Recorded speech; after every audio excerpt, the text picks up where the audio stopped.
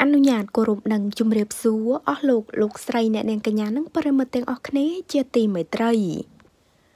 អ្នកនាងអុកសកុនកញ្ញាបញ្ចេញភាពសិចស៊ីជាលើកដំបូង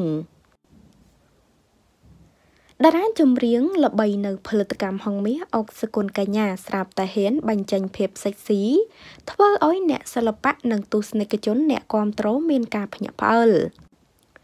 ក្រោយពីនាង មានប្តីនិងកូនប្រុសម្នាក់អាយុជាង1ឆ្នាំ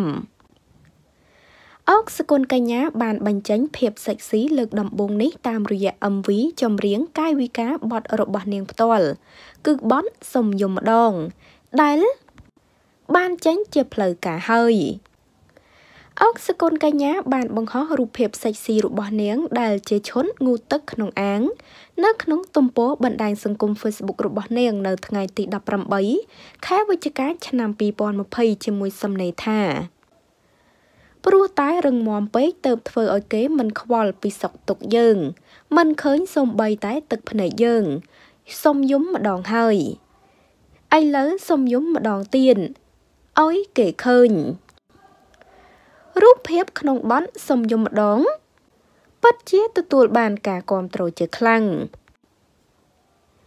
តាមរយៈភាពសិចស៊ីជាលើកដំបូងនេះបានធ្វើឲ្យទស្សនិកជនអ្នកគ្រប់គ្រងជាច្រើនមានការភ្ញាក់ផ្អើលនិងសរសើរថា ស្អាតណាស់គ្រប់គ្នា ហើយពួកគេថានេះក៏ជាលើកទី1ដែលបានឃើញតារាចម្រៀងល្បីរូបនេះចិត្តល្អហ៊ានស្លៀកពាក់បញ្ចេញសាច់ខ្ចីបែបនេះ។ គួរបញ្ជាក់ថាតារាចម្រៀងអុកសកុនកញ្ញាបានរៀបការជាមួយនឹងលោកអឹងសុកលីអ្នកគ្រប់គ្រងទូរទស្សន៍ហងមាសដែលត្រូវជាប្អូនប្រុសបង្កើតរបស់លោកអឹងឆៃងួនថៅកែក្រុមហ៊ុនហងមាសរស្មីហងមាសនិងទូរទស្សន៍ហងមាសកាលពីថ្ងៃទី16ខែឧសភាឆ្នាំ2019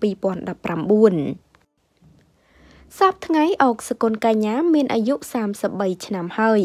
ទោះបីជាបានប្តីជាប្អូនថៅកែហងមាសក៏ដោយ នាងនៅតែបន្តអាជីពចាស់បន្ទាប់ពីបាន សម្រាកពោពោះនិងបាន សម្រាលកូនប្រុសដំបងឈ្មោះអឹងបញ្ញាបុតហៅឆលីកាលពីថ្ងៃទី11ខែវិច្ឆិកាឆ្នាំ2019ហើយនៅពេលនេះកូនប្រុសរបស់នាងមានអាយុជាង1ខួបហើយជាមួយបទថ្មីសុំយំម្ដងគេជឿថាអុកសកុនកញ្ញានឹងទទួលបានការគ្រប់គ្រងជាក់ជាមិនខានជាពិសេសបន្ទាប់ពីនាងបានបង្ហាញ រូបភាពសិចស៊ីដែលនាងសម្ដែងក្នុងបទចម្រៀងខាងលើតាមបណ្ដាញសង្គមដែលតាក់ទាញនៅចំណាប់អារម្មណ៍ពីទស្សនិកជនអ្នកគាំទ្ររបស់នាង ជាច្រើនមុខនោះចាប្លែកភ្នែកមែនទែនអុកសកុនកញ្ញាបញ្ចេញភាពសិចស៊ីក្នុង MV មួយបទរបស់ខ្លួន ដែលធ្វើឲ្យទស្សនិកជនជាពិសេស fan fan របស់អ្នកនាងផ្ទាល់មានការភ្ញាក់ផ្អើលជាខ្លាំងការកត់សម្គាល់របស់ទស្សនិកជន អ្នកនាងអុកសកុនកញ្ញាហ៊ានស្លៀកពាក់សិចស៊ីខ្លាំងបែបនេះក្រោយពេលដែលនាងរៀបការនឹងមានកូនហើយប៉ុណ្ណោះកាលនៅក្រមុំគឺអ្នកនាងពិតជាមិនដែលហ៊ានស្លៀកនៅសម្លៀកបំពាក់សិចស៊ីខ្លាំងបែបនេះនោះឡើយពេលដែលអ្នកនាងស្លៀកពាក់បែបនេះមើលទៅពិតជាស្អាតប្លែកចាហើយតេតងនឹងព័ត៌មាននេះដែរក៏សូមបញ្ចប់តែត្រឹមនេះឥឡូវយើងងាកមកតាមដានព័ត៌មានជាបន្តទៀតដែលតេតងទៅនឹងអាយ៉ា កញ្ញាវីឌីណេតថានឹងបង្ហាញមុខបុរសម្នាក់នៅដើមឆ្នាំ2021នេះហើយកូនក្រមុំលោកហ៊ូលវីកញ្ញាវីឌីណេតបានឲ្យដឹងថាក្រោយនាងលើកពាន I am a singer ខែម៉ូដេរដូវកាលទី2កាលពីថ្ងៃទី26ខែកញ្ញាឆ្នាំ2020នោះឪពុករបស់នាងកាន់តែជំរុញនិងលើកទឹកចិត្តនាងឲ្យខិតខំប្រឹងប្រែងតទៅមុខទៀតដើម្បីឈានឲ្យដល់គោលដៅដែលគាត់ចង់បាន នាងថា ឪពុកនាងគាត់សប្បាយចិត្តនៅការឈ្នះពានធំរបស់នាងពីការប្រកួតនោះហើយសម្រាប់រូបនាងក៏កាន់តែមានទឹកចិត្តថែមទៀតដែរព្រោះនេះជាទុនមួយដ៏សំខាន់នាំនាងឈានជើងដើរទៅមុខទៀតក្នុងវិស័យសិល្បៈវីឌីណែនប្រាប់ថាដើម្បីឲ្យប្លែកនៅដើមឆ្នាំ2021ខាងមុខនេះនាងនឹងត្រៀមចាប់ដៃជាមួយតារាចម្រៀងប្រុសថ្មីម្នាក់ដែលពីមុននាងមិនធ្លាប់ជួបហើយអ្នកចម្រៀងរូបនោះក៏មិនមែនច្រៀងនៅហងមាសដែរ ទោះជាយ៉ាងណានាងថាមិនអាចប្រាប់ថាអ្នកចម្រៀងរូបនោះជាអ្នកណាហើយឈ្មោះអីមុនពេលដែលបទចម្រៀងចេញនោះឡើយ